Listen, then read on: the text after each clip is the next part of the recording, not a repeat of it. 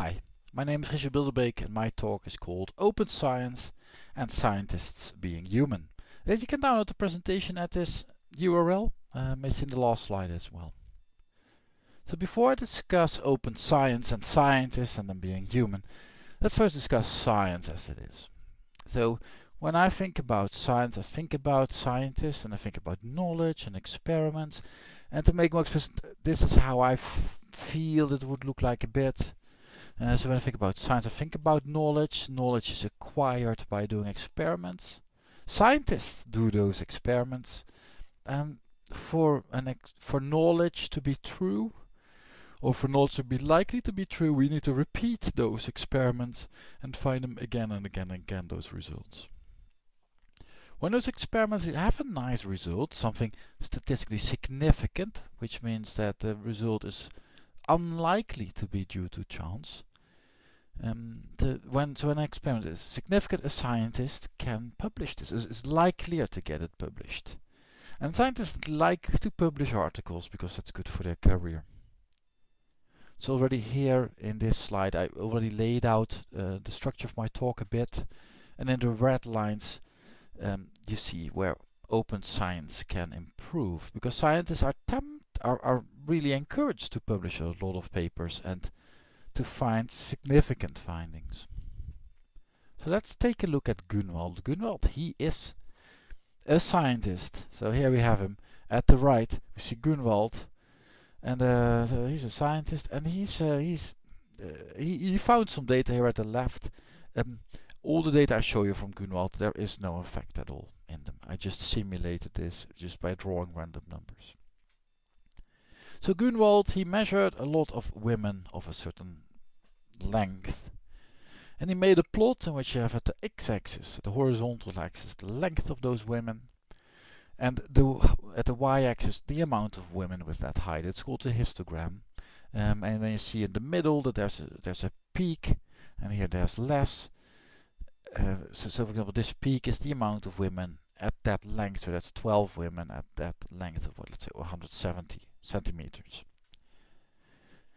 This dashed line, which is a nice curve, that's the that's what you would expect to find if you would measure an infinite amount of women. Um, this is a good approximation of what you would expect to find. Um, what Gunwald measured from these thousand women, um, there's more ups and downs. It's not as ideal. It's not as perfect. He only measure only measured a thousand women, but this is just by chance, and we accept that. That's a fact of life. And Gunwald, he wants to be interested in finding out why some women are taller than others, why there are some women that are, are above 190 and some women below 150. So he's going to do an experiment. So he's going to do a survey for women and he asks them, how tall are you? Because mostly women know this, but of course you could also measure this. And then he asks them 20 things uh, in, in an attempt to explain what makes why they are so tall. For example, ask women, do you prefer red over green? Or is your phone number an even number or is it an odd number? Uh, and 18 other things. So you see all these explaining explanatory values they're called uh, they have no effect on height, just to make sure that you understand. That's why I picked them. I just make it when I have a very explicit example. Um, but you can do such a survey and I will show you how Gunwald will get a publication from this survey. Um, because he's very smart, he already measures 20 things. And I'll show you why that is so smart. So in most cases, Gunwald will be unlucky. So here we have the same histogram again with the women length at the x-axis, the horizontal axis, and the amount of women with that length at the y-axis. But now they are split into two groups, uh, the women that prefer green over red, and the women that prefer red over green in red.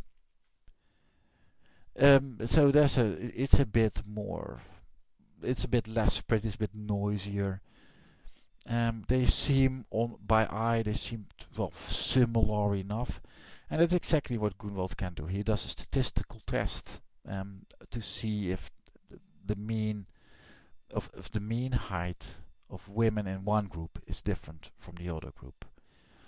And this statistical test, it's called a t-test, will give you something that's called the p-value. And the p-value, if it's zero, it means that that's there's that's very likely to be really an effect. Really, the green and the red causes the height of women. If the p-value is higher, then we say, well, this is probably chance. And the magic p-value is 5%. So in some fields, but uh, this is biology, so we use 5% here. In the field of biology, we usually use 5% as a, as a cutoff for p-values. If a p-value is below 5%, we say, whoa, this is a significant finding. Here we say that below 5%, here we say, yeah, there's an, we, this is an effect. We can say that. When the p-value is 6%, we say there's no effect, or it's caused by random. We have to pick this threshold somewhere. And when Gunwald does this survey, uh, if he does it a hundred times, uh, this, in five cases he will find an effect. So if he does the survey a hundred times, in 5% of all cases, the same 5% here that's used as a threshold, in 5% he'll find a significant effect. Gunwald knows this. He knows that the chance to find um, nothing when there's no effect is 95%. But he also knows that there's this chance of 5% to find something significant but nothing happens. So in this case he's a bit sad, he finds nothing significant. But if you do the survey more often, then sometimes by chance you find a significant effect. So he could probably he find he could find something like this. He knows that there's a chance of 5% that there is no effect.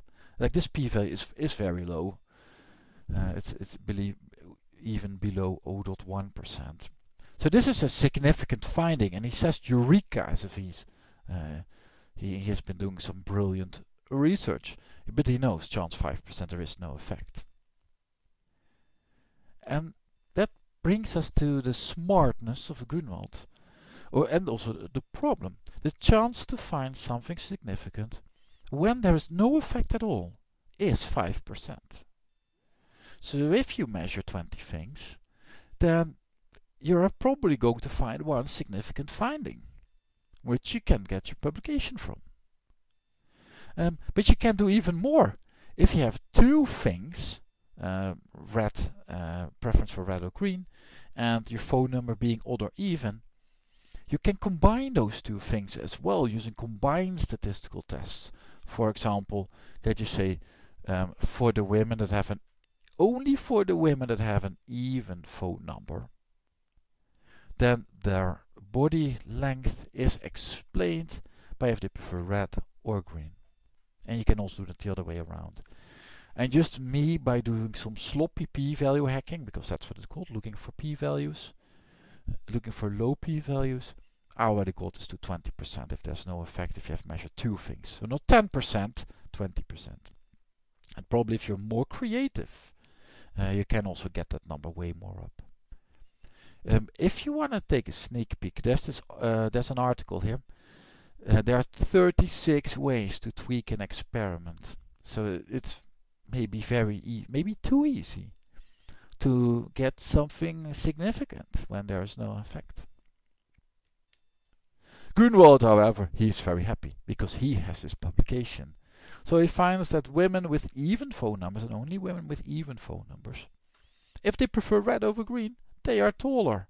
Brilliant finding. Um, and he writes in his paper that he, they always suspected this. They thought, yeah, evolution, we know phones are very recent, even phone numbers on average are higher. Uh, uh, make some kind of evolutionary story from it, that's a good idea for him to do. And he feels so creative uh, when when doing this. Like he, um, also for looking for the low p values and making up the story. Like it was, it's, it's storytelling. Um, he was, he asked the women 20 things in the survey, but he only reported two, which is the phone number and the preference for the color. And that brings us to the next question. Is Gunwald evil? So, at the moment we would consider Gunwald not to be evil Um, because fraud, that's that's clearly evil. He didn't fabricate data. Um, what he did is more the gray area. We call it dubious research practices or questionable research practices. Those are research practices you can get away with. Um, sometimes you can choose not to do them, but uh, you can do them. And usually you get away with them. Um, why would Grunwald do such thing? And why do other scientists and is that common? Well, that's a good question. So first, why is Grunwald likelier to do this? What's the most important thing that can cause Grunwald to do this? Well, there has been a research in the Netherlands of thousands of scientists, and they asked like why, um, what explains why scientists do this. And the biggest two factors is the first number you need to look at. Um, these are the strength of, of the effect, what, what's causing them to do it. And the top two things are the scientific norm of scientists and the publication pressure that there is. So the scientific norm that would be uh, being a scientist say, yeah, but it's just a game. Um, uh, I just make a good story. Science is storytelling.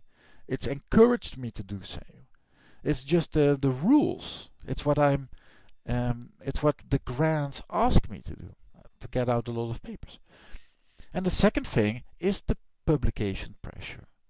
Uh, the mantra is called publish or perish. If you don't publish, you're unlikely to get uh, to continue your career as a scientist.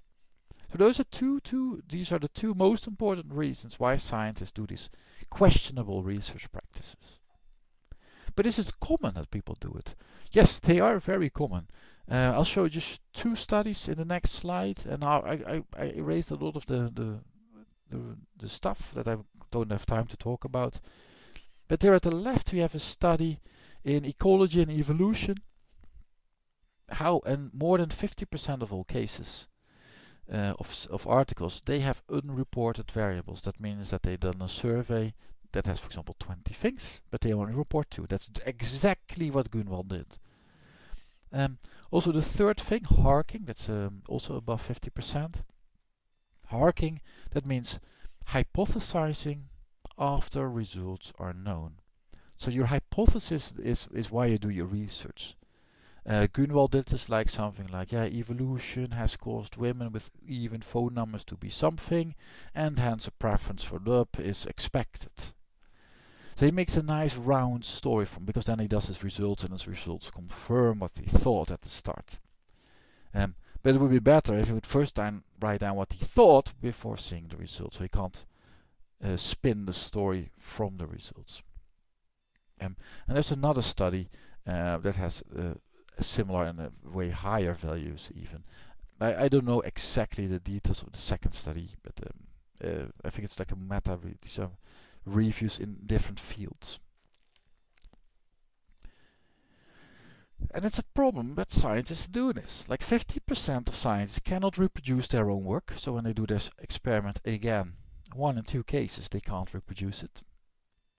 Um, and I think that's already a very high number here. Uh, and one in nine preclinical cancer studies could be replicated. So that means eight out of nine studies, it could not be replicated. Well, there are many reasons for these numbers, and one of them could be, uh, is likely to be, that people have been p-value hacking to get results. To publish something that has, that when there's no effect, as a significant effect. And the European Union and UNESCO, they acknowledge this problem and they think open science can solve this. Um, they have wider ideas about open science and can solve more things according to them. I'll only focus on, on this part of the problem. So this brings us to what is open science then? Well, so this is a, from a slide from UNESCO. And open science is a lot of things with the word open on it. And I'll focus on, at the top right, we see open engagement of social actors. I'll discuss that last. Um, at the bottom left, we see open science infrastructures. Um, that means to put things in place in science, how scientists work, so they can do open science and are rewarded for that. Um, and because the goal of that is to get reproducible science. And I'm not going to Um, so there has been a study, what are the best ways to get reproducible science? And this ties in nicely with these open science infrastructures. So there's a study about um, what would be best for getting reproducible science. And I, I've grayed out a lot of stuff. But in the right column, uh, first two lines you see registered report and the open science framework. Um, and the registered report is exactly what I'll be talking about now, because that is what would made Grunwald more humble in his findings. So first I start with a cartoon of the registered report. So here at the left we see traditional research and at the right we see some kind of pyramid being built and that is a, a, a registered uh, report. And it already gives the impression that at the left the scientists are just messing around a bit, changing the story, looking for p-values and, and other things. And in the end, uh, it gets uh, you have your your published result. Whereas at the right, it looks more structured. And the most important thing, already we can see here that there's stage. There are two stages. Stage one is a plan that gets reviewed. Stage two are the results, and those get reviewed. Uh, and then they get their publications. Um, I'll zoom in more on registered reports just to just to make sure uh, it's, it's, this is more the chronological order. So you have your ideas about women heights, for example. And then you're going to design your study. Like we hypothesize that, or in, in this case, uh, in Grunwald's case, we uh, we have no idea. We think there is no, I would say there is no effect, but we're going to analyze it anyways. Uh, but we're going to do a lot of tests, so maybe we're not going to use 5% as a p-value, but we correct for a lot of testing. It's called a Bonferroni correction, you can do that. So if we, when we are more st strict in our test, then what will be an effect will be an effect. Or is likely to be an effect.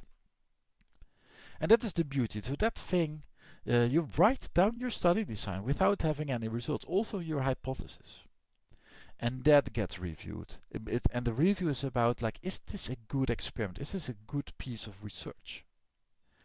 And if you pass this review, it's the strictest review of the of the two, then the journals can say, the journal that you submitted your paper to will say, you now go do that experiment, and whatever comes out of it, we'll publish the result. If it's significant or not, we'll publish it. So then you then you go you're going to collect and analyze your data. You're going to write down your report. This gets reviewed, but it's mostly a check if you really stuck to your original design, if you kept your promise, and then it's published. So the idea is that you don't, you cannot uh, bullshit anymore, and you have to report more honestly. So um, here's a here's a finding already um, where they combined experiments reported in the traditional literature at the right and at the left findings in registered reports. And this is only about replication research. So they try to replicate something from the traditional literature and the height of these dots are the percentage of null findings. So the percentage that they did not find something significant, that they found no effect. In the traditional literature this is around 15%, whereas for the registered reports it's around 65%. Uh, so it appears that if people report more honestly, you find well, fewer effects. Um, open science gives better papers in general, but I'm going to skip this because I want to focus on the conclusion that open science can help to find true and reproducible knowledge and to report finding no effect more honestly. It has its problems as well. It's more time and work and there are no rewards strongly in place yet, although for example the European Union is working on. Now finally I want to talk about Open Science Uppsala. So there is a community, an open science community in Uppsala called Open Science Uppsala. And they meet once a month in the central library and everyone is welcome. Uh, that's part of open science as well, to be open for everyone. So that brings me to my conclusion. So this normally I would ask you for questions, but this is a YouTube presentation. So um, you can't, again, you can find the presentation here.